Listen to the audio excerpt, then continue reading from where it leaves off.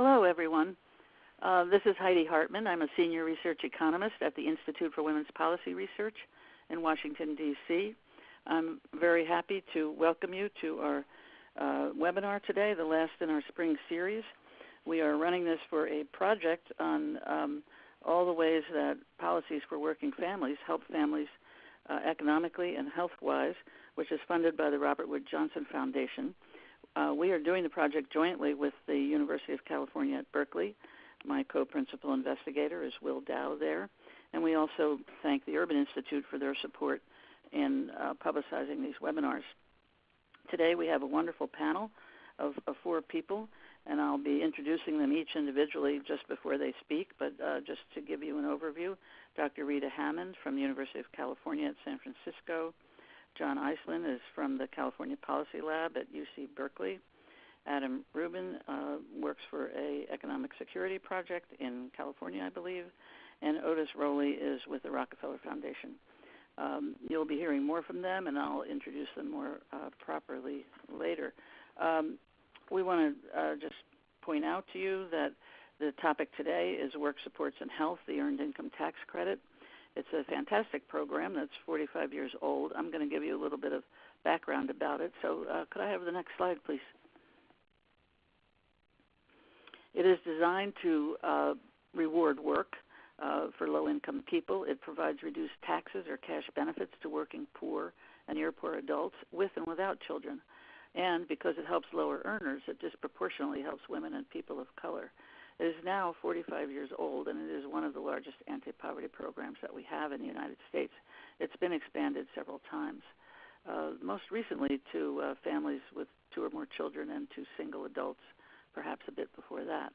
Uh, there were 22 million working families and individuals who received benefits in 2018, and the average benefit for a family with children, and this includes both married couples and single parents, was about $3,200 in 2017. Uh, with child care tax credits and also SNAP, our uh, food assistance program, uh, it does raise a lot of families out of poverty and a lot of children. I think we're ready for the next slide. Now, this is an illustration of how it works. You um, if you earn nothing, you get nothing. That's that zero in the lower left corner. This is an illustration for a married couple with two children whose household earnings is $20,000. This puts them in the range where they got the maximum credit in 2019, uh, $5,800. And that range lasted a little bit, maybe a few thousand dollars, and then it started to decline pretty steeply, the value of their benefits. And these benefits, as I said, will come either in cash or and reduce federal taxes owed. Uh, the phase out happens at about oh, not quite sixty thousand uh, dollars for married couples. And in the next uh, slide, we can see how it works for a uh, single mother with uh, two children. Uh, sing- could be a single father too. Excuse me. It's just that the vast majority of such families are single mothers. Um, she can also be eligible for the maximum uh, EITC credit, but the range of income in which she can be eligible for that, because it's only one earner in the family is a little shorter, and her um, benefit will phase out more quickly uh, in the uh, high in the low 50s, in the low 50 thousands. Um, it's the same um, phase out rate though, as with married couples. And then the next slide, we we can look at what happens to an individual. So an individual um, who has the same household earnings of twenty thousand dollars is beyond the range at which she or he is eligible for the EITC, and uh, that range appears the maximum appears to be less than ten thousand dollars, and it's just only about five hundred fifty dollars a year. And this is the federal credit that I'm describing here. We also see that a number of states have uh, credits. Can we look at the next slide, please? This shows you um, who benefits from all the different um, income assistance policies in kind and other that we have. Uh, and it's from, I believe it's calculated by the, uh, using census data by the Center on Budget and Policy Priorities. And you can see that Social Security is uh, our biggest pro- uh, program in terms of poverty reduction, primarily for the aged, but also for adults who may receive disability or may retire before age 62, and also for children. But the largest one for children are the refundable tax credits, and this line here includes both the earned income tax credit and the child uh, tax credit that I mentioned earlier. You can see in the accompanying bar, uh, vertical bar chart on the other side uh, of the slide, uh, the, the difference in terms of uh, all people and children, the number lifted out of poverty is uh, 5.5 million children, and 6.4 children made less poor. They're still poor, but less poor than they would have been without these two credits. So it's a really a, a significant, successful program, and uh, generally very, very well received on uh, on bipartisan terms. Uh, can we look at the next slide, please? Here we can see uh, the states that have um, refundable EITCs and a few with non-refundable EITCs. It is the majority of states that have some kind of state earned income tax credit. They have their own requirements and eligibility and amounts, although some of them simply uh, piggyback on the federal uh, eligibility. And uh, you can still see there's there's room for more states to take it on, including some states that uh, one would think ordinarily would have, such as maybe Pennsylvania, New Hampshire, Alaska, for example. Alaska does, of course, have their permanent fund, which goes to every adult and child who is a resident of Alaska. So perhaps that's why they don't have an EITC there. Um, but it's quite successful, and a number of um, people on our program are working on these uh, state-based uh, plans to try to include more states. And do we have a, another slide, Elise? Here is where you can go for more information. Uh, we're referring you to the Center on Budget and Policy Priorities, uh, who does a fantastic job with all tax and budget issues, to the Census Bureau, and to the IRS, another great source for information about tax programs. So um, I hope this has provided you with some background, and it's um, now my pleasure to call on Rita Hamad. She's a social epidemiologist and family physician at the University of California, San Francisco, as I mentioned. Um, and uh, she is in the Institute for Health Policy Studies in the Department of Family and Community Medicine. She looks at how poverty and education and health disparities are linked over the life course, and she's a recipient of numerous awards. We are delighted to have you with us today, uh, Rita, and, and uh, please go ahead and start your presentation. Thank you so much. Thank you. Thanks for the, the introduction, and thanks to the organizers at IWPR and UC Berkeley for inviting me to join this panel. I just realized I didn't update the date on this slide um, from when the session was first scheduled for, um, but that's okay. Um, so uh, yeah, I think this is such a timely topic to be addressing in the current moment, um, both because of the need for policy solutions to address the socioeconomic fallout from the COVID pandemic, and because social and economic policies are one potential lever to address longstanding racial and in particular black-white inequities by promoting programs and policies that benefit low-income communities of color. Uh, today I'm excited to share with you all the results of research from my team and others on the effects of the uh, EITC on child health. Next slide, please. As an overview of what I'll be covering today, first I'm going to outline the pathways linking poverty with health. I'm then going to briefly describe some prior evidence on the effects of the EITC on health with a focus on what we know about kids. Uh, I'm then going to review the study design and results for the latest research project that my team has been working on and I'll conclude with some implications of these findings for research, advocacy, and policymaking. Next slide, please. There are numerous pathways that might link poverty with health. Um, of course, poverty primarily manifests as low income and wealth, that top pathway, which limits the ability to afford resources like healthy food, safe housing. This in turn can contribute to poor physical and mental health. Low income, of course, also limits the ability to access health care, which can worsen health. Poverty also leads to limited psychosocial resources. That is, it's well documented that chronic poverty can lead to stress, which contributes to limited cognitive bandwidth, as it's been termed. And this might lead people to make risky decisions around health behaviors like smoking or substance use.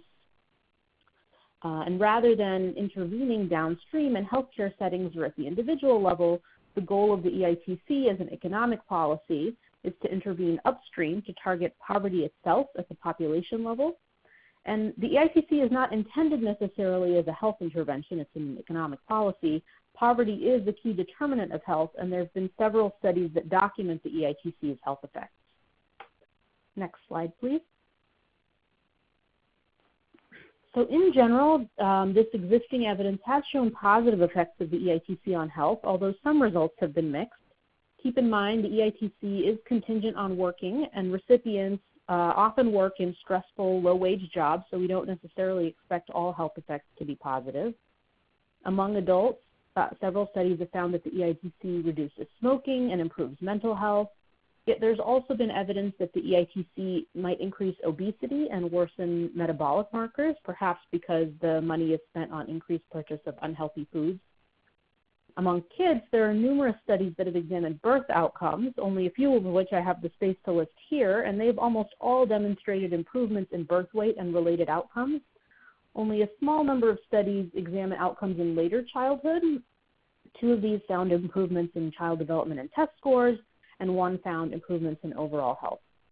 In terms of positive, uh, possible negative effects for child health, there has been one study that suggested an increase in very low birth weight among black moms in California. This finding has been contradicted in more recent work, and actually there have been three to four other studies that show that black mothers actually benefit more from the EITC in terms of birth outcomes. And unfortunately, the vast majority of the existing studies use historical data before the year 2000. And so, as Heidi mentioned, there's been an increase in the size of the EITC over time, as well as recent changes in the safety net uh, and more general policy environment. So, more contemporary evidence is needed to inform ongoing state and federal policymaking. Next slide. One other key point to keep in mind is that the EITC is dispersed as a lump sum once a year as a tax refund. Uh, this figure shows the proportion of tax refunds received by month separately for EITC recipients, which is the dotted line, and all taxpayers, which is the solid line. So on the x-axis there you have months of the year, January, February, March, etc. And on the y-axis is the proportion of tax refund payments being made. so you can see while many taxpayers, the solid line, wait until later in the tax season to file and potentially get their refunds, EITC recipients tend to file earlier, and it might be because they know that they are about to get this large refund. Um, and so about 50% receive their refunds in February and nearly 30% in March. So there have been a few studies that have taken advantage of this pattern to look at whether the health of EITC recipients varies over the course of a year. These studies compare health outcomes in the months right after refund receipt with health outcomes measured later in the year in months more distant from refund receipt.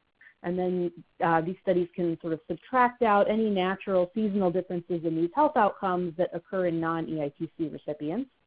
For those of you interested in the methods, um, I'll get into a bit more later on, but this is known as the difference in differences study design. And the reason this aspect of EITC is important is that it might help us better understand how large one-time payments affect health differently from more regular payments.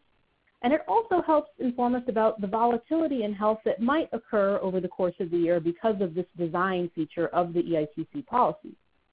On the other hand, it might be that um, EITC recipients compensate for this lumpiness in income uh, by smoothing their consumption. In other words, they might take out loans to meet their needs in the months prior to refund receipt so that maybe we won't see any health effects in the short term right after tax season. Next slide, please. So there aren't many studies that examine this question. Um, among adults, one study found improved food security, reduced smoking, and at the same time worsened metabolic markers in the months immediately after EITC refund receipt. Another study found that there were no short-term changes in healthcare spending right after EITC refund receipt. Um, this suggests that EITC recipients either smooth their consumption of healthcare, so to speak, as I just described, or else that people don't tend to use EITC or tax refunds on healthcare. And there's been one study looking at the short-term effects of the EITC among kids, and this one found improved general health and no effects on a number of other outcomes. Again, this study used older data from the 1980s to 90s, so, so it's important to look at more recent evidence. Next slide, please. So this brings us to the research project I'll be describing today. The sample for this study was drawn from the National Health Interview Survey. This is a serial cross-sectional study. It interviews about 80,000 households a year, and it collects health data on one child per household. Importantly, it, it interviews individuals throughout the year, including both during tax season and in other months. And we used the survey waves from 1998 to 2016. In this analysis, we restricted it to families with income making less than $100,000 but more than zero, since other high income families or unemployed families are, might not be an appropriate comparison group for EITC recipients. So the sample size for the study was ranged from 15,000 to 70,000 depending on what health outcome we were looking at, since this survey also asked different questions in different survey waves and different questions for kids of different ages. The main exposure for the study was the size of the EITC refund uh, for which somebody is eligible. And since the survey doesn't ask participants about their taxes, we calculated EITC refund sizes based on demographic information using IRS formulas. And we assume that all individuals receive the refund for which they're eligible. In reality, about 80% of people who are eligible for the EITC actually receive it. So while this results in some measurement error, it's sort of analogous to an intent to treat analysis for those who are familiar with that. Next slide, please. Our outcomes included measures of child nutrition and mental health that are thought to change in the short term in response to income. For nutrition, we used the USDA Food Security Scale to capture food insecurity, as well as self-reported height and weight to calculate whether a child was overweight or underweight. For mental health, we use the mental health indicator, and this includes questions about whether the child is uncooperative, unhappy, or having sleep problems, and it's for children ages 2 to 3. And for older kids, age 4, 4 to 17, we use the Strengths and Difficulties Questionnaire, or SDQ, to evaluate for behavioral and emotional problems. Next slide, please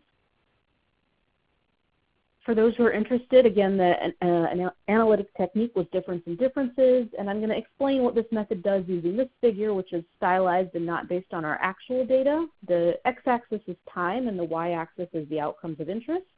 The area to the left of the dotted line is the period of the year when tax refunds are not received, and this method assumes that the trends or slopes in outcomes during this period are parallel between EITC recipients and non-recipients. Next slide. And then in February and April, when EITC recipients are re- receiving their refunds, let's say that we observe this pattern for the two groups with an improvement in the outcome among EITC recipients in particular. So this method assumes that the trends and outcomes would have remained the same among the two groups in the absence of the EITC refund, and any observed difference is due to the treatment, which in this case is the lump sum EITC refund. Next slide, please. So here I have the results for the continuous outcomes, and this shows that uh, there was a reduction in food insecurity in the months after EITC refund receipt. Equivalent to about 1% of a standard deviation, which is um, uh, per $1,000 of EITC received. And as a reminder, average refund size is about $3,000. And we didn't see any effect for the mental health indicator or strength and difficulties questionnaire. Next slide, please nor did we see a short-term effect on children's risk of being overweight or underweight. Next slide, please. so to summarize, uh, this most recent study found that the EITC results in modest improvements in food insecurity in the short term. And on the one hand, it's good news to know that this substantial income boost results in better food availability for families with kids. On the other hand, it also implies that food insecurity is worse in other parts of the year, so that the structure of the EITC may contribute to cyclical patterns in children's nutrition. So for these other outcomes for which we didn't uh, observe an effect, this might be because these outcomes are unlikely to change in the short term, uh, or it might be that parents tend to smooth consumption of relevant resources to protect kids. One possible policy implication of the findings for food insecurity is that the EITC could be distributed throughout the year rather than as a lump sum. Historically, this was an option, but fewer than 3% of EITC recipients took advantage of it. Also, we don't have studies comparing the health effects of these two different types of disbursement. Future studies could examine um, other health effects and could also um, examine other ways of delivering income, like increasing the minimum wage, which is dispersed through paychecks throughout the year as opposed to a lump sum, or income supplements that are not contingent on employment. And again, all of this is especially important in the context of the fallout from COVID when there is a lot of interest in beefing up the safety net for vulnerable families. For example, would it have been more helpful to disperse more regular payments rather than the one time stimulus checks that many families receive? Next slide. So I'd just like to thank my co-author on this manuscript, Akansha Batra, who's a PhD student at UCSF, and the funding sources, including the Robert Wood Johnson Foundation, the NIH, and pilot grants at UCSF. Next slide. Uh, that's it. Thanks. Rita, thank you very much. That was um, an excellent um, summary of your study, and we can see it does have an important impact. Um, next, we're going to call on, um, I believe it's uh, John Iselin. He is a research fellow at the California um, Policy Lab, and he's going to be looking at the take up of the Earned Income Tax Credit among uh, recipients in California. Go ahead, John. Thank you very much.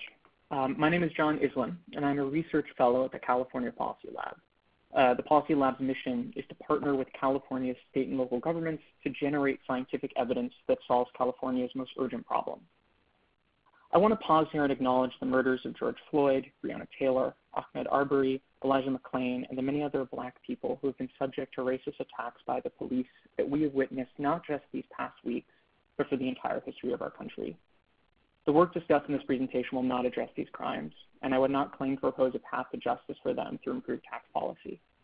Our country's racist past and present both impacts all aspects of our lives, including the ways communities interact with social programs. One of my goals for our research is to give policymakers and advocates tools and information to improve policies that can directly empower marginalized individuals and communities. But at the same time, I want to acknowledge the violence that Black communities are experiencing at this moment and state unequivocally that Black lives matter. As policy scholars who earnestly care about improving the lives of others, we cannot accept and it is our duty to vehemently oppose such violence. I'm here to present work um, that I'm conducting alongside my co-author, Matt Unrath, who's a PhD student at the Goldman School of Public Policy at UC Berkeley, and is a part of a team at CPL that includes Professor Jesse Rothstein, Aparna Ramesh, and several others. We are attempting to provide a methodology for creating accurate state-level measures of EITC eligibility among recipients of other social programs. In this presentation, I will explain a methodology which uses California administrative data to measure take-up of the EITC among CalFresh recipients which is the state instantiation of the Supplemental Nutrition Assistance Program, or food stamps. We find that combined federal and state take-up is approximately 70%, which means that 70% of eligible CalFresh households actually claim the ITC. The methods I will be presenting, the results I'll be presenting here are preliminary, and at the end of the talk, I will focus on an expanded methodology we are currently developing that will allow us to present EITC eligibility by race, language spoken, geography, and family structure. Uh, next slide, please.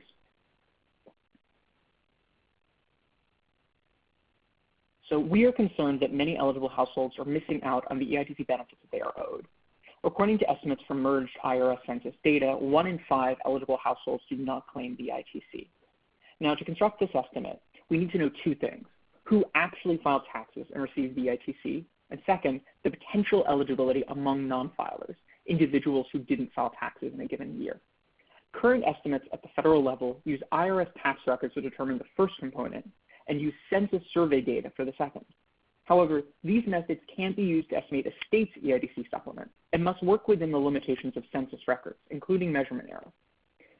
Most of the take-up gap seems to be driven, given current research, by eligible non-filers or low-income households who do not file taxes because their income falls below the filing threshold, depicted here for a head of household tax unit, but would be eligible for benefit if they were to file taxes. Uh, next slide, please. This is a particular concern in California, where the state EITC supplement, which we refer to as the Cal EITC, is loaded on low-income filers. This is unusual in the world of state EITC supplements.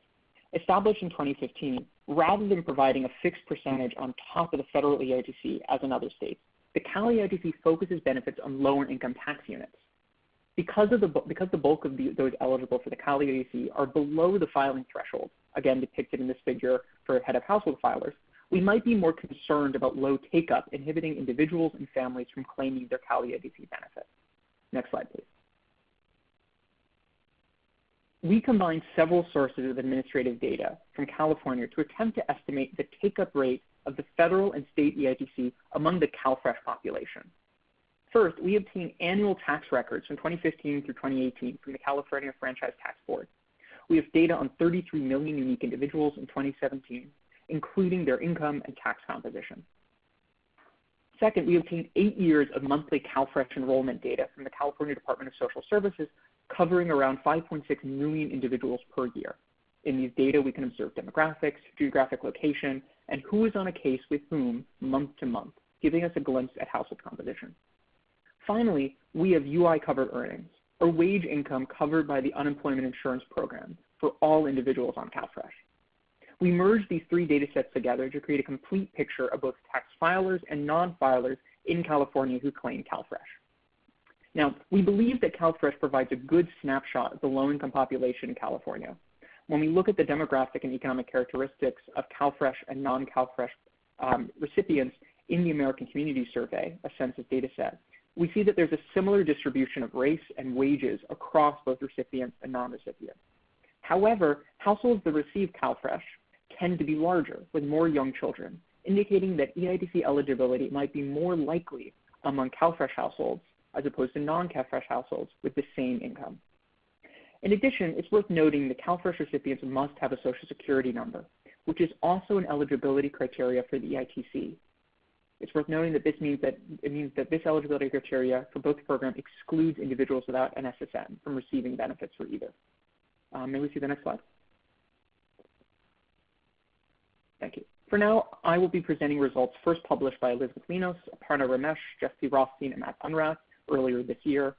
And they found a combined federal and state take-up rate of 70%, indicating that out of likely filing units that the authors imputed as eligible for the ITC, only 70% actually claimed either the federal or state credit. Now, this is on the lower end of the range of state-level IRS census estimates, but given the difference in the samples, it is reasonably close. When we assume similar rates of underlying eligibility among filers and non-filers, we see that filers are eligible for larger dollar amounts than non-filers. They appear to be eligible for an average combined federal and state benefit of $3,122 versus non-filers who are eligible for $1,819. This likely reflects both the difference in household composition and earnings. However, non-filers could be eligible for the ITC at lower rates than filers, which would mean the credit mean, would mean a lower mean credit amount among this population. Next slide, please. We can also look at the distribution of income between filers and non-filers UI-covered earnings. Most non-filers on CalFresh have income below the single and married filing thresholds. 77% have estimated earned income below $10,400 versus only 42% of filers. Now, while the bulk of non-filers have low earnings, this does not negate the possibility that there are still parents with children who would be owed substantial credit amounts, especially given the Cal, Cal EITC's focus on lower income tax units. Central to producing these estimates is the process of converting CalFresh households, those who eat meals together, into tax units. There are a series of assumptions implicit in the results I have presented to you. When creating tax units, the authors assumed A, that all individuals on a CalFresh case would appear on the same potential tax unit, and B, that all, Cal, all children in the CalFresh case would qualify as children for the purposes of EITC eligibility. To better understand what money is left on the table and who, is, who it is owed to, we wanted to go a step further to produce more precise estimates of tax unit composition. Can we see the next slide? We are currently working on the following improved methodology we want to assign each individual to the CalFresh case that they were on for the most months during the year. Within each case, we would impute who is likely to be a head or a spouse on the tax unit versus who is likely to be a dependent. We would then marry imputed heads together if they appear on a case and we observe them together on a prior year tax return, or if they are of a similar age. We assign imputed dependents to these adults based on either prior year tax records or if they meet a number of age and income criteria. We then classify these dependents as qualifying children for the EITC based on their age and the number of months they spent in a CalFresh case. With this imputed tax unit, we used UI-covered earnings to impute EITC eligibility and benefits amounts. Next slide, please. Now, we believe that this procedure can be used to improve our ability to construct accurate tax units using administrative data. In particular, we can observe the amount of time a dependent is on the same CalFresh case as a tax filer, which allows us to estimate the residency requirement for being a qualified children, child for the ITC. However, there are a few issues with our methodology as it currently stands that we're working on right now. The first is we can observe self-employment income.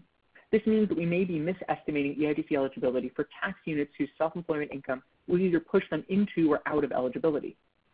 Second, we are trying to identify cases where a potential individual should be on a tax return, but that individual, either a child or an adult, does not appear within the CalFresh data. This is problematic because we may be misestimating marital status or missing earned income that should be applied to the tax unit when we are missing an adult. And we may be misestimating the number of dependents or qualified children that should be attached to a tax unit when we are missing a child. Our future goals for this research are to improve the procedure for estimating tax unit composition, then produce estimates of both federal and state take, EITC take-up rates, the total dollars outstanding, and the number of households who are eligible for the EITC and not claiming the credit. And we hope to produce these estimates by race, language spoken, household composition, and geographies. And our goal is to provide state policymakers, researchers, and advocates more information regarding who is currently not receiving the benefits to which they are entitled and ideally help craft policy to make sure everyone is able to receive the benefits that they are owed. Thank you very much.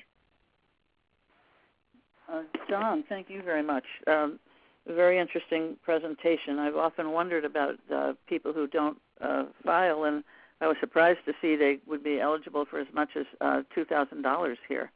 Um, so very interesting. Also, thank you for your comments about um, racism in our society and I, I thank Rita as well for mentioning the COVID crisis. Right now, we are in the middle of three crises, of course. Um, the social justice crisis, which has, of course, been longstanding. Uh, more short term has been the COVID um, epidemic, pandemic, and also um, the economic freefall that has occurred from that.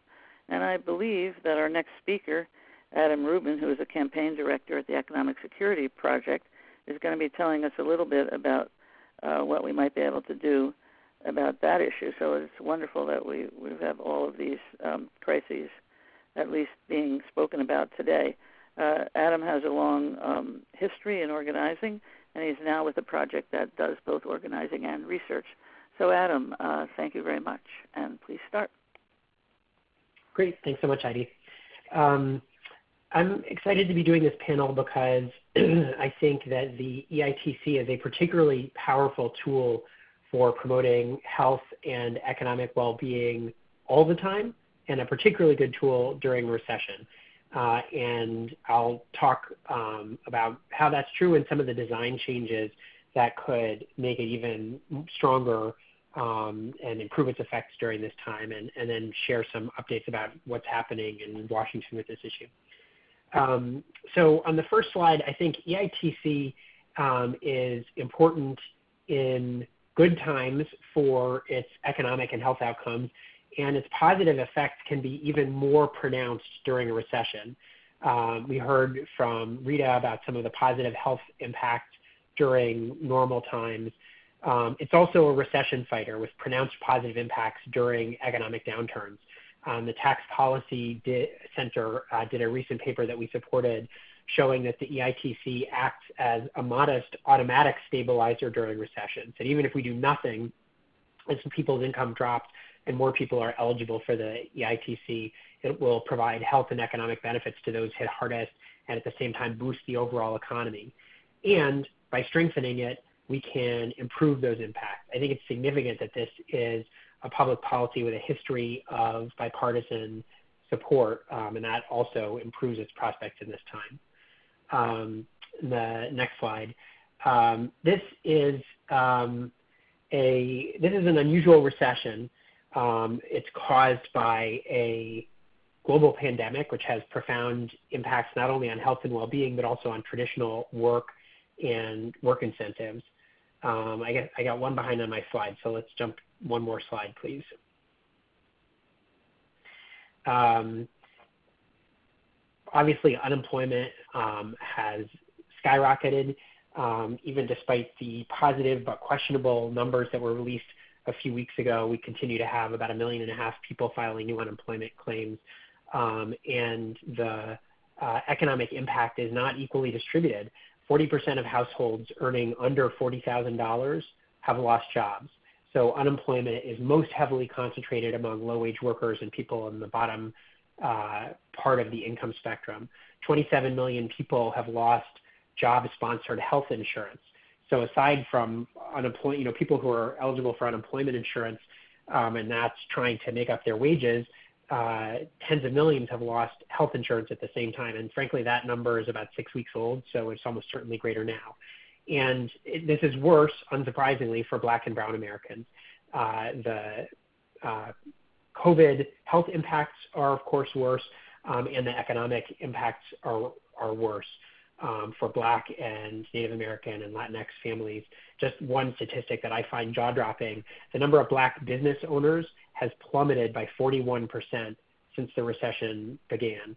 So uh, even the economic impacts um, are concentrated even among better off components of the Black community. Um, the next slide. Um, the EITC is traditionally structured as a work incentive.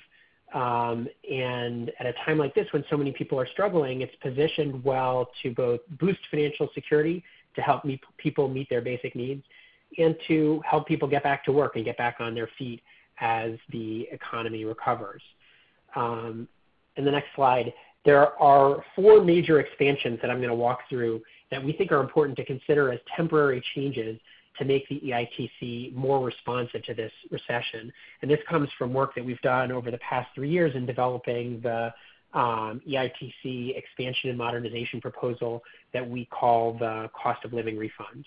Um, and so we've sort of pulled out some of those things, those ideas that were good ideas before, but are particularly valuable um, in this moment, in this economic crisis. Um, the first is to expand to uh, people who are not eligible, family caregivers and low-income college students, and to younger and older workers who don't have kids at home who are not eligible today, um, to um, boost the credit uh, for people who suffer significant income drops and uh, expand out the eligibility, and to change the way the credit, credit is administered to help those who need help now rather than at tax time next year. Um, so let me, I'm going to walk through those one by one. Next slide. Um, the first is to recognize the crucial role of family caregiving during the pandemic. So as you've heard, the EITC rewards work. You have to work for what you get with the EITC. Um, and the only work that it counts, counts is paid income from a job in the formal economy.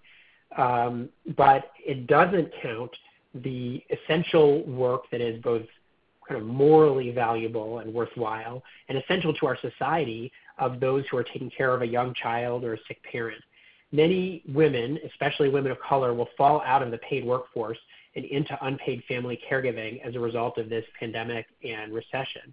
And frankly, if schools aren't open in person full time in the fall, um, and it seems like many children will continue to be home in the fall. Many seniors aren't going to be in senior centers because those have become dangerous places from a health perspective in, in, nursing homes.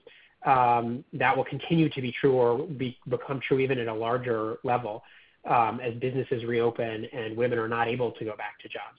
It has never been clearer that it's essential that we recognize caregiving as valuable and essential work that we should reward by making caregivers eligible for the EITC. Um, next slide. The next thing we need to do is to make the credit bigger and broader to get it to more people who need it. Um, we need to raise the income limit, so push it further up the income spectrum to catch folks who are uh, were struggling along in the economy. The folks who said before this recession, I'm doing okay today, but I'm one car accident away from disaster the 40% of Americans who couldn't afford a $400 emergency. And for many people, this recession has been that $400 emergency week after week. So we need to go further up the income spectrum to capture people who are doing a little bit better but struggling with no safety net or living with no safety net and whose incomes has now fallen. We need to increase the credit amounts, the amount of money that you get from your EITC, particularly for workers without children, without dependent children. Um, and uh, we need to allow credits for adults of all ages, including students. Um, we also need to include immigrant taxpayers, um, whether or not they are undocumented.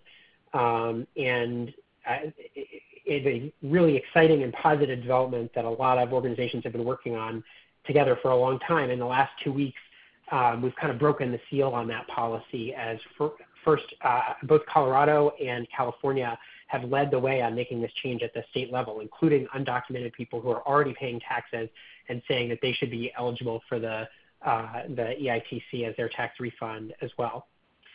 Um, the next slide, we need to um, reduce the risk of undermining families who are most in need by accelerating or eliminating the phase-in. So if you picture back to the slide that Heidi showed at the beginning where the EIT phased in, it has that slope on the left side of the graph. Families get about 40 cents on the, um, for every dollar they earn up until they reach the maximum credit amount, although those with, without kids get much less. And that structure, structure is designed to incentivize people to work. The more you work, the more you get. Um, we need to accelerate that rate in a recession. Um, make a temporary change that says you should get, for every dollar of earnings, you should get a full dollar of credit. Um, that will push more money to people who are in deep poverty. Um, and it will ensure that families who have lost significant income and were higher up on the curve, but now are kind of thrown into that phase-in range, won't also lose more, most or all of their EITC at the same time.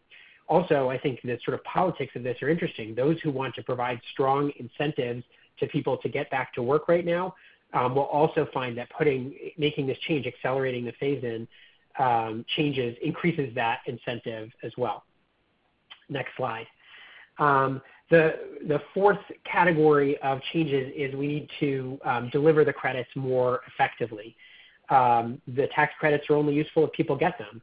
Um, as uh, John and Rita talked about, one in five people who've earned the IT, EITC never get it because the process of filing for it is difficult and cumbersome. Most EITC recipients use paid tax preparers who take two to four hundred dollars out of their EITC refunds to help people fill out the complicated IRS forms. So we need two reforms here. Um, we need automatic filing, sending the EITC automatically to everyone for whom the IRS has earnings information. And we need options for periodic payments to help everybody who's eligible get credits when they need them. That's a solution to the problem that Rita pointed out where there's that income spike in February and then many EITC recipients rely on payday loans at other points throughout the year. Nearly all EITC recipients use a chunk of their EITC when they get it in February to pay off debt that they got in to get to that point. So um, we need to let people smooth it, um, spread it out throughout the year so their incomes are less volatile. And an advance on next, the next year's EITC would also give people more help now in this crisis. Um, next slide. Here's what's happening in Washington right now. Um, the uh, House passed the HEROES Act last month, which includes some expansions to the EITC. So again, this is passed by the House, but not yet passed by the Senate or addressed by the Senate. Uh, temporary expansion and increased credit amount for childless workers, um, and age expansion down to age 19 and up to age 66, although it doesn't include college students, um, to account for the possibility of families losing their EITC because of lost jobs or wages it allows recipients to elect to use their 20, 2019 income instead of their 2020 income for eligibility if their 2020 income has dropped. And a few permanent changes, such as changing eligibility for families with qualifying children without social security numbers and for separated spouses, and a few other small things. Um, but um, uh, last slide, please. Um, but we need to do more. Um, particularly, we need to expand the universe for eligible households. Um, and there's a strong argument right now for that even in these short-term solutions, some of the kinds of expansions we're talking about, like family caregiving, are important. Several lawmakers have championed many of these modernizations, many of the policy changes that we're talking about even before the crisis. Kamala Harris, Cory Booker, uh, Sherrod Brown, Rashida Tlaib, uh, Bonnie Watson Coleman, Gwen Moore, um, some of the folks, the policymakers in Congress who have um, talked uh, about these issues uh, before the crisis and continue to be some of those who are most outspoken on it during the crisis. Thanks very much. Thank you very much, Adam. Now I'm going to turn to Otis Rolley. Let me tell you a little bit about him. He is an urbanist. He is now with the Rockefeller Foundation. He came to them from uh, directing one of their projects called the 100 Resilient Cities. Foundations are always stealing from their grantees. And um, he also has a strong background working for many cities, um, including Newark in my home state, New Jersey. And although I'm from the Jersey Shore, Otis and um, he's held cabinet roles with five different mayors in three large U.S. cities. He has a master's in city planning from MIT, and he graduated with honors uh, from Rutgers University. Uh, Otis, your turn. Thank you very much for being with us. Thanks so much for the opportunity, uh, and, and, Jersey Shore still counts. So uh, um, uh, um, I wanted to uh, just thank everyone just for the, chance to talk a little bit uh, from the foundation space uh, on this important topic. Um, today, I'll be speaking about the Rockefeller Foundation's Equity and Economic Opportunity Initiative. Um, and we at the EEO team are really proud to, to fund numerous state and national organizations that are shaping this conversation around the earned income tax credit and the state and at the state and federal levels. Uh, the foundation has a long history of uh, supporting research uh, as a means to affect change in policy. Um, but beyond just the research, we are um, actively engaged in, advocacy and, education and really are hopeful that the policy changes that need to occur will occur to, to affect real substantial change. Especially in this time um, and date, as was previously mentioned, we're dealing with the multiple pandemics, structural systemic racism, um, that has been in place for such a long time and, and from the very beginnings of this country and, and COVID-19.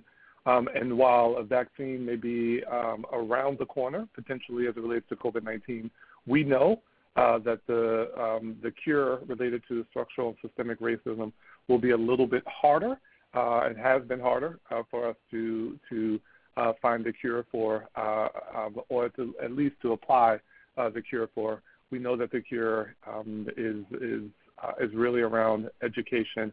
It is around um, valuing human lives, uh, regardless of, of race, creed, sex, um, sexual orientation, um, place of origin, or, or ability. Um, and so we want to do everything that we can at the foundation to advance that work, and part of that work is in the policy area. Um, so next slide, please. The, the Equity and Economic Opportunity team is, is led by a single vision we believe that every person in the United States uh, who works should be able to meet the basic needs of their families and have a path to, to a better future. Next slide. Um, sadly, 40 years ago, a worker could cover a family of four's major annual expenditures, you know, housing, healthcare, transportation, etc., on 30 weeks of salary. Today, it takes about 53 weeks. Uh, and yes, you're doing your math right. That's oh, more than a year. According to the, the United Way, 28% of U.S. households live above the federal poverty line, um, yet ALICE, asset limited, income constrained, and employed, ALICE workers, these households even more um, uh, than the federal policy level, yet still struggle to make ends meet. Together, um, with the 14% of households living below the federal poverty line, uh, the 42% of U.S. households cannot make ends meet. Um, in 2018, the average gap between earnings and survival costs for households below the ALICE threshold was 50%. Next slide. In America, the United Way classifies around 90 million Americans as ALICE. Those, again, are asset limited, income constrained, and employed. They literally do not have enough to make ends meet. And so we, we know that 83% of them live in cities, and, which is why our place-based work uh, focuses in, in urban areas. Uh, 69% are in their prime working age, between 25 and 54, and 62% are people of color, the majority of which are Latinx and African American. This is our target population, and these are the individuals and families that we had in mind when we set our vision. Next slide, please as a private foundation, uh, the Rockefeller Foundation is prohibited from engaging in lobbying. However, uh, the foundation uh, is able to really resource um, and aid in the providing of information that will help inform the public, the media, and policymakers on important issues of, of public policy. We can do advocacy and education, but, uh, but no lobbying as a private foundation. Next slide, please.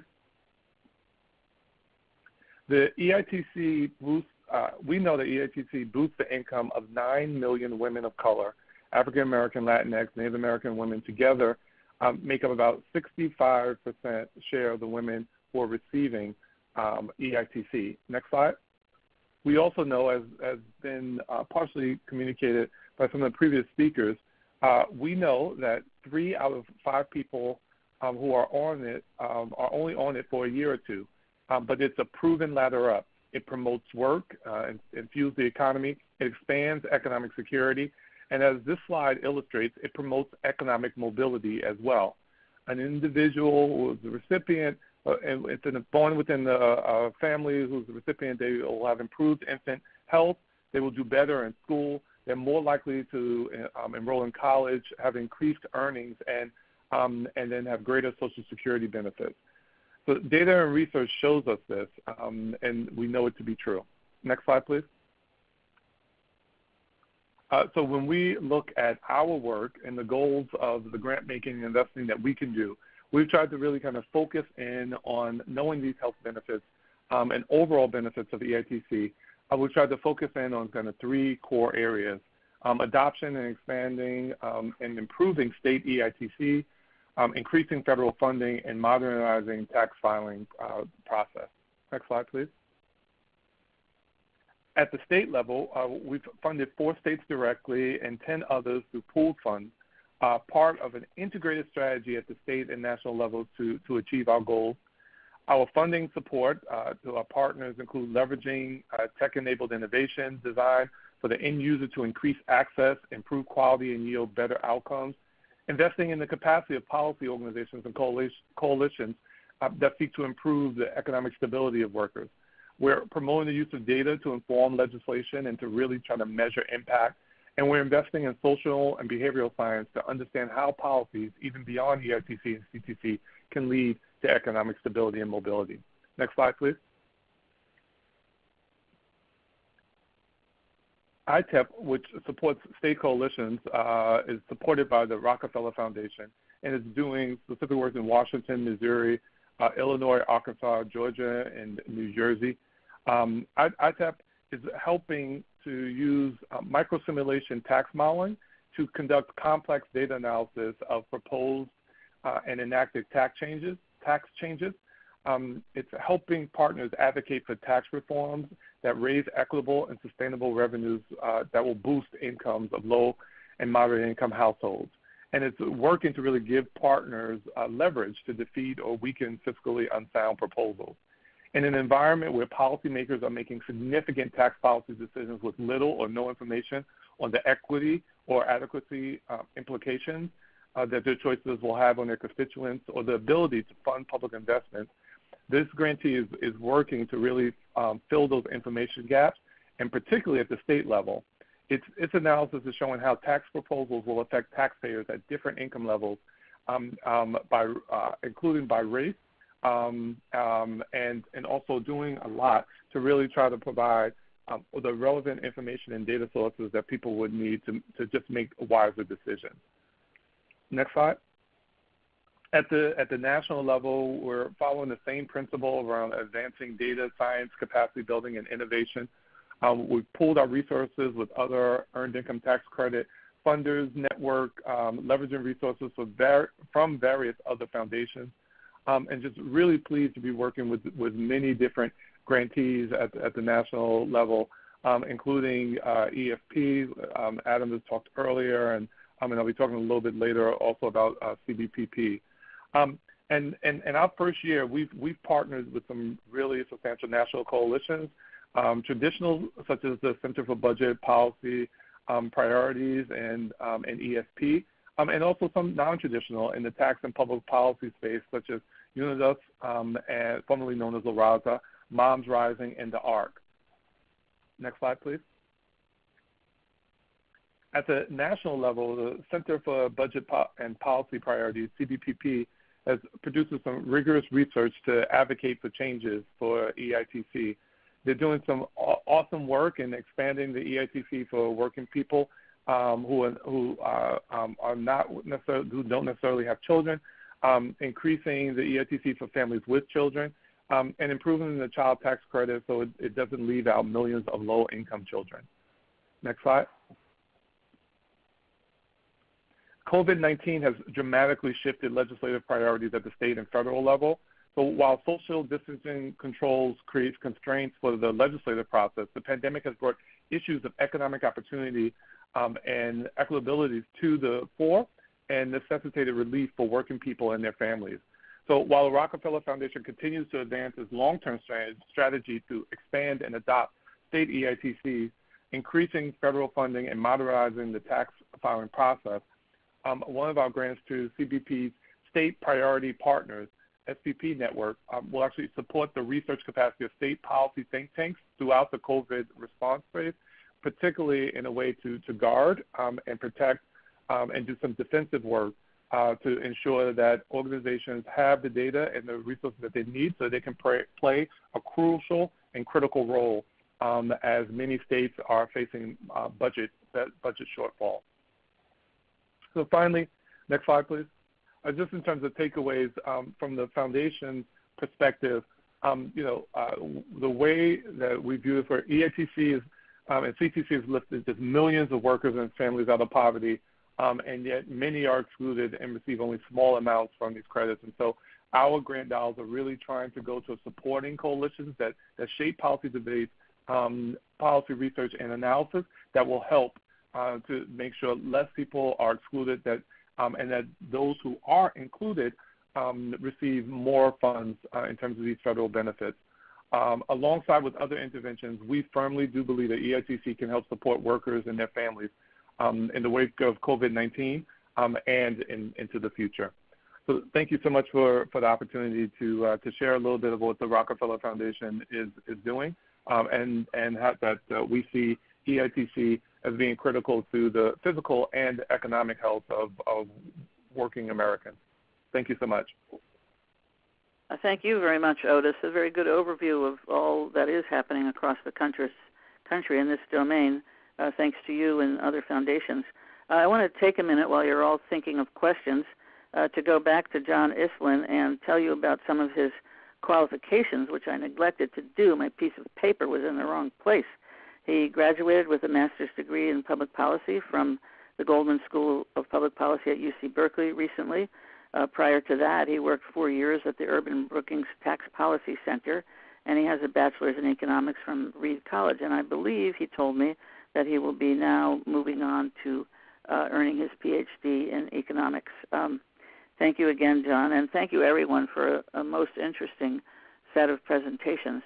Um, so I'm I uh, now want to um, turn this over to Jeff Hayes to um, moderate the questions that I hope you all have. Uh, we'd like to get um, questions and comments from you about perhaps what you're doing with the EITC, what your research might show, uh, what your advocacy might be. Uh, so, uh, Jeff, let me turn it over to you. Thanks. Great. I thank you, everyone. That was really, really very interesting to hear more details about it and about the impact analysis. And that was great. Um, the first question we got was that around full-time students under 24 years old can be claimed by their parents at the EITC if they meet the income requirements. How would the expansion you mentioned, just I was suggested to Adam, specifically for students interact with the current credit structure? Um, students who are supported by their parents can be claimed as uh, dependents, uh, but many students are not supported by their parents. Um, they're on their own, they're putting themselves through school, they're not getting any or not getting much support from family, and uh, they're struggling. And, and this was, you know, the case before the um, recession, where there are startling statistics about the percentage of students, and this is particularly true at community colleges who experience food insecurity uh, or who spend time living in their cars. And so uh, much like with the idea of family caregivers saying, well, even if you don't have earned income from a paid job in the formal economy, you're doing something of value uh, for your family, for your community, and we have to reward that by giving you a minimum EITC amount. We should do the same with low income students, not wealthier students who are being supported by their parents, but those who don't have other resources. Uh, for example, those who are eligible for Pell Grants um, would be eligible for a minimum credit in the EITC. Great, thank you. Um, and also, I think for Adam, you mentioned uh, uh, some research on positive support for EITC offered during the COVID 19 crisis. Could you um, talk a little more about that? The person is working on a similar project and was very interested. Um, I I'm not sure exactly what piece of it that refers to, but um, I guess I would say so. The uh, the House bill included some expansion of the EITC. There's conversation now as Congress is thinking about what to do. The Senate's going to come back and discuss it. There's going to be a negotiation soon. Um, the the conversation is actively happening uh, in the kind of public debate, the advocacy, advocacy community, as well as among policymakers about what we ought to do. And I think the baseline of conversation is um, looking at temporary increase for childless workers and age expansion and some of these other small uh, technical fixes.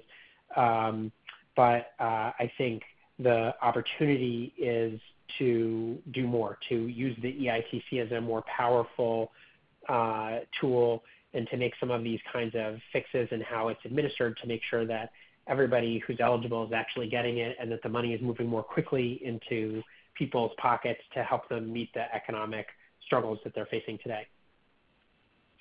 Okay, um, we got a little more information for Great. Um, and they're trying to think about they're doing healthcare consulting, um, looking at EITC as a policy recommendation for federal agencies to better support direct service workers, nursing assistants, personal care aides, and others, supporting those with disabilities and aging adults and individuals with mental mental health and mm-hmm. issues um, who often receive low wages and low benefits. So, um, anything more about um, assistance aimed at direct care workers? Um, yeah, first, just to make a distinction between the um, the caregiver credit that I'm talking about is really aimed at family caregivers who don't earn income from their caregiving, and in many cases, because they're caring for someone aren't working at all, don't have any income, and don't, therefore don't qualify for any EITC at all. Um, but I think uh, it is, you're exactly right that um, care work for those um, in the paid economy um, is poorly compensated by and large, mostly provided by women of color, um, and that those are critical audiences for the um, EITC.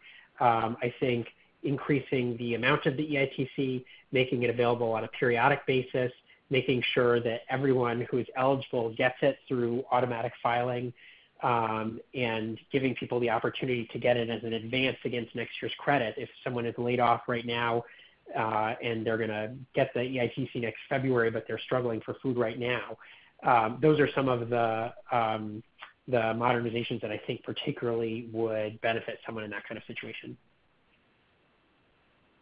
Great, thank Hi, you. Heidi, I have um, a comment or something I'd love to hear the panel think about. I know we're hearing, uh, not surprisingly, a lot more about the basic uh, income proposals in the current environment. We're all worried. Uh, IWPR, myself included, did a report on how technological change will affect women, and uh, we looked at retail trade and we said, yeah, you know, it's changing, but you know, maybe not that rapidly.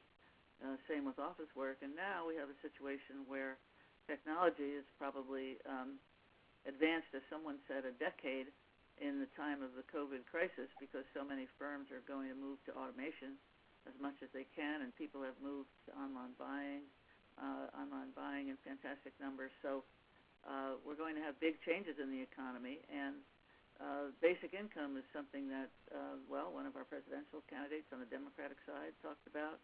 I think Economic Security Project might be looking at it. It's it's something that could be added uh, to the to the EITC to take care of these many people that don't qualify. So you know, instead of having students or home care, uh, those who are providing unpaid care at home get an EITC, which I'm not against. I mean, maybe they would get both. Uh, they could people who aren't covered by the EITC could be covered uh, by a universal basic income. Uh, so I, I just wondered if is there work out there on how those two programs might combine basic income with the earned income tax credit?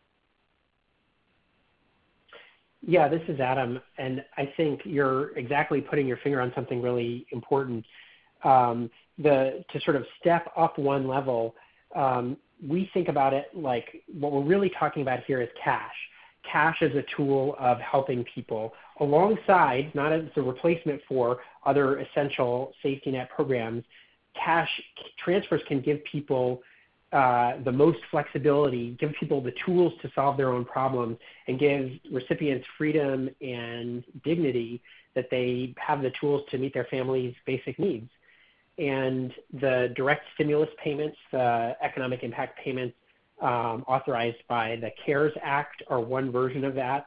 Um, the uh, other kinds of proposals like a UBI or guaranteed income, um, like the ones that you referenced, are another version of that. And the EITC is has been so successful because it's another version of uh, something that gives people the flexibility to say uh, to decide what's the most urgent problem that they face.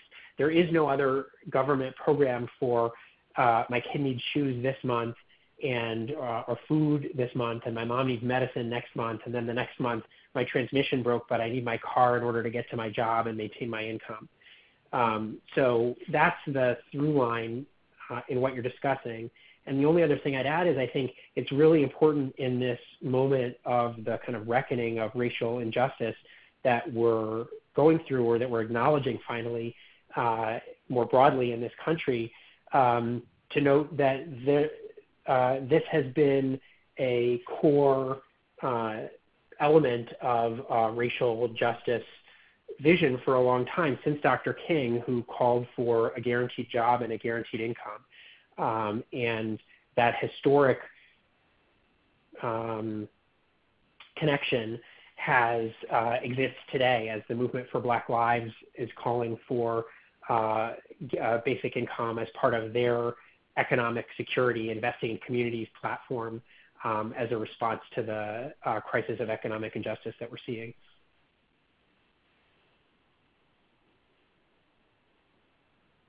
Yeah, very good. I've been a strong believer in cash. I I remember one time when I um, had a meeting with the USA Today's full editorial board, um, and uh, it was about poverty. And I said, well, you know, there's a really good way to solve poverty. And I said, we just have to give people money so they get above the poverty line. And I mean, you could have seen the jaws drop around the table, uh, every single one. Yeah. Shocked. And I said, well, this is what happens in European countries uh, I, I don't see why we can't do it here. And you know, the the culture of poverty stuff just became so strong for such a long period of time that you know the the willingness to allow families uh, and individuals to make their own judgments with cash, you know, was really um, whittled away, especially for single uh, black mothers whose you know cash grants under AFDC or whatever we're calling it these days. Uh, is virtually completely gone. Hardly anyone is even on that program anymore. Uh, so we we definitely undermine the selfhood of people on that program, and it's lucky in a way that we have something the EITC that that can help people with cash. But I really think, given the you know long run economic and technological changes we're going to see, we're we're going to need to be um, thinking about that how we can add the basic income elements in order to bring people, you know, more cash that they need. But it's a very, very interesting way to look at it. This so is, thank you for giving us a universal is, denominator. This is Rita. I was going to add one other thing. um, which is that it, it's interesting for a lot of safety net policies in the United States. People tend to get up in arms when anyone suggests a work requirement, like for uh, Medicaid to provide health insurance to low income individuals, or SNAP benefits to provide the um, food vouchers. Um, and so people get very upset because there's an acknowledgement there that that for very vulnerable individuals, you don't want them necessarily going out into the workplace that might that could potentially worsen their health. And so and so for for a number of safety net benefits, we as a society um, are are less inclined to have a work requirement, but yet for some reason, as as you guys are saying, around cash um, uh, cash support, uh, there's still this expectation that that some that people um, be employed, uh, and it and it you know neglects all of the context of families um, who have those caregiving responsibilities, or school, or or for whatever reason you know have have um, challenges in, in their labor market. Um, and so I think that is again with with what's what's happening with COVID. Um, uh, that maybe there are changes on that horizon to bring the United States more in line with other high-income countries where where that that expectation isn't there. Yeah, this is Adam. I think that's really interesting, um, and uh, something quite frankly surprising um, happened as part of the CARES Act when it passed at the end of March, um, which was that uh, direct payments to individuals have been part of responses to previous recessions in, I think, 2001 and 2008 and 9. Um, but they've always had a work requirement attached to them, which is kind of bananas if you think about it. To, like at the time when jobs are vanishing, to say we're going to provide payments to people, but only if they were working before. That's how you know they're quote unquote worthy and would be eligible for these stimulus payments. Well, this time around, for the first time ever, stimulus payments went to people even with zero income, um, a recognition that those who are the in the most dire economic circumstances need help to get through this crisis.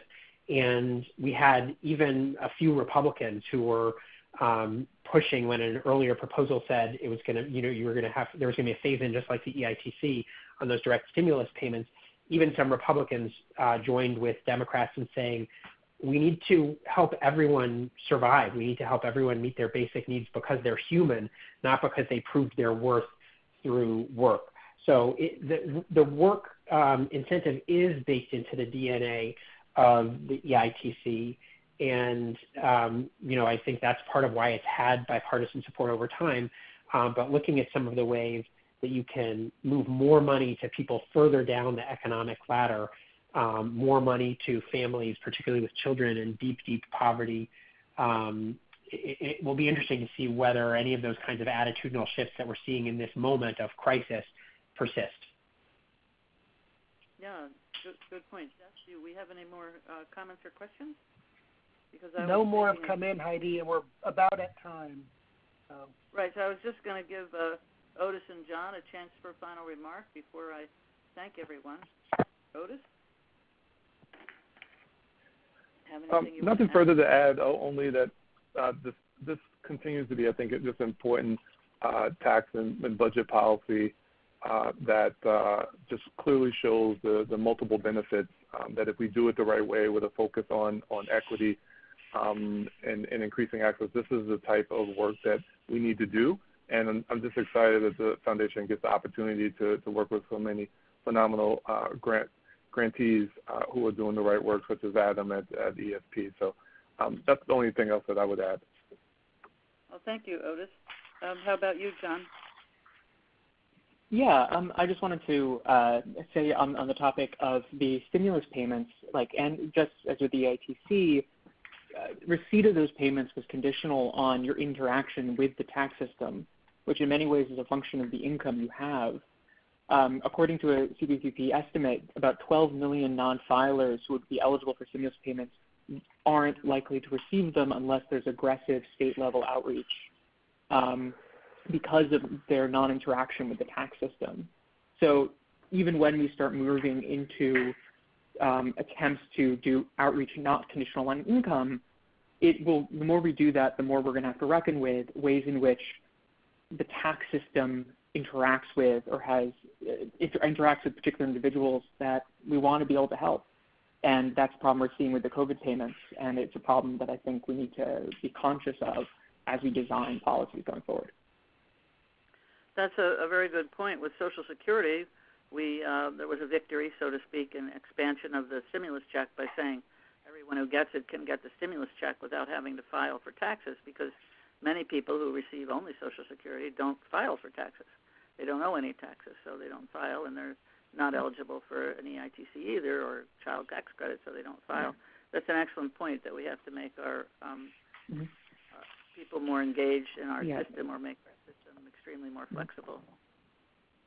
And I wanna thank- while Social Security was included, oh, Go ahead. oh, go ahead. no, it's quite all right. Uh, just while Social Security was included, other programs like Medicaid and SNAP, um, some of these issues still persist. That, that's right, yeah. Um, so I just want to move on now to thanking everyone, all our presenters who I think did a brilliant jobs, and our participants for uh, staying with us for our hour and 15 minutes. And I want to thank our staff again, Elyse Shaw, who coordinates this series, Thea, uh, Leah Woods, who is our communications person, and Jeff Hayes, our uh, senior researcher with the uh, our, our joint project with Berkeley and our partners again, Berkeley, Robert Wood Johnson Foundation, and Urban Institute. Uh, thank you all very much, and uh, we'll let you know if we're going to have future webinars next fall. Uh, we've really enjoyed the uh, two semesters of webinars that we've done, and we've enjoyed meeting so many of you uh, who are participating in them and who are participating as audiences as well. Thank you so much.